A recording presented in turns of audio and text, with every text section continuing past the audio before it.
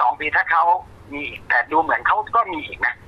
เขาก็มีอะไรกับที่อีกนะก็คงจะฟ้องกันต่อไปเรื่อยๆเพชรเนี่ยแหละอืมที่ที่ยังยังไม่เลิกอะ ยังใช้วาจาแบบ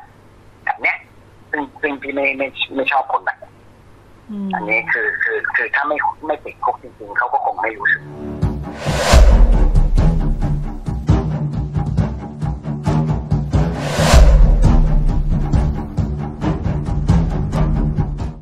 คืบหน้ากรณีต้อมยุทธเลิศสิบประภาพผู้กำกับภาพยนตร์ชื่อดังฟ้องร้องไอซ์รักชนกศรีนอกและเพชรกรุณพลเทียนสุวรรณสองสสพรรคก้าวไกลฐานหมิ่นประมาท จากกรณีคืนวันที่ 21 พฤศจิกายน 64 ไอซ์รักชนกได้โพสต์ข้อความอ้างว่าถูกต้อมทำร้ายร่างกาย ในงานเลี้ยงส่องทวิตยามเช้าบนเรือ จนได้รับบาดเจ็บ และได้เข้าแจ้งความไว้ที่สอนอปากคลองสารขณะที่เพชรกรุณพลได้ทวิตด่าต้อมว่าเก่งกับผู้หญิง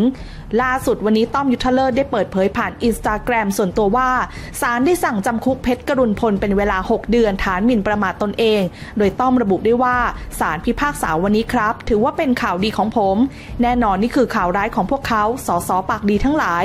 พวกมึงจำใส่กะลาหัวไว้ ประเทศไทยไม่ได้ขับเคลื่อนด้วยการด่าครับ ส่วนค่าเสียหายที่ได้ติดปลายนวมมา ผมจะพา FC ไปเลี้ยงที่ร้านเยี่ยมใต้ของคุณเต้นเขา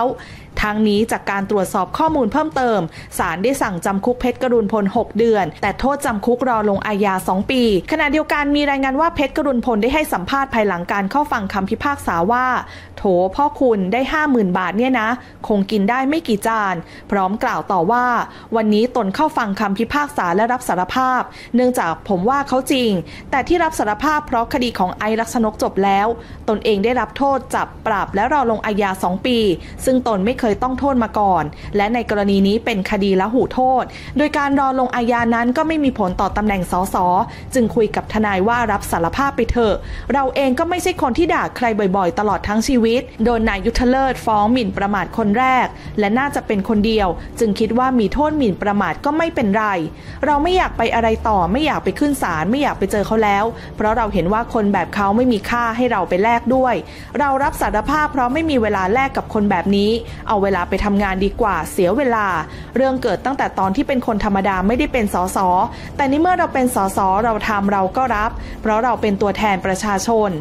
หลังบทสัมภาษณ์นี้ออกมาค่ะ ทีมข่าวฮอตโซเชียลไม่รอช้า รีบไปสอบถามความเห็นจากคุณต้อมทันที โดยเจ้าตัวบอกกับเราว่า หลังจากนี้จะดำเนินคดีกับเพชรกรุณพลต่อ แถมจะยื่นต่อสภาให้พิจารณาเรื่องจริยธรรม ทั้งกับเพชรและไอรักชนกอีกด้วยรอลงยาสองปีนี่เพนบอกว่า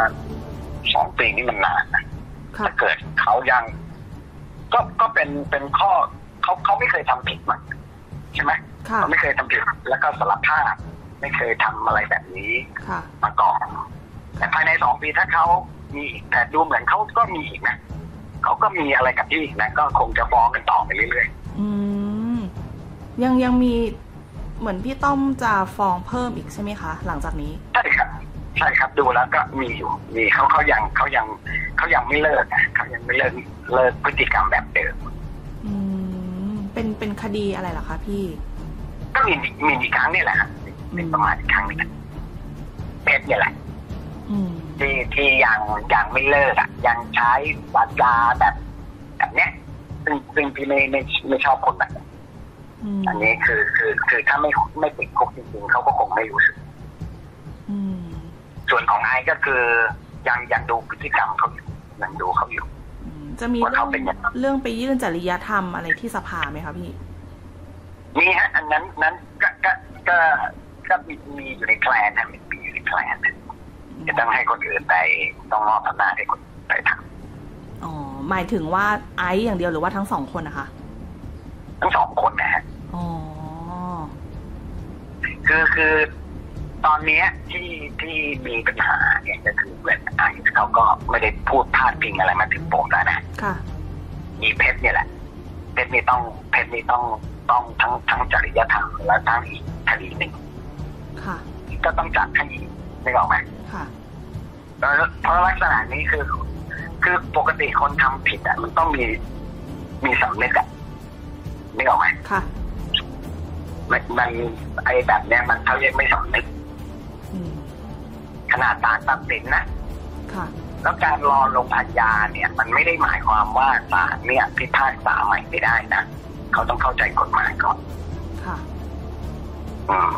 ไม่ใช่ศาลจะตัดสินลงโทษไม่ได้นะไอ้คุกหกเดือนเนี่ยถ้าเกิดอะไรขึ้นระหว่างทางที่แจ้งเนี่ย เสร็จนะงานนี้บอกได้คำเดียวค่ะว่าปูเสือรอชมได้เลย เพราะเรื่องไม่จบลงง่าย ๆ อย่างแน่นอน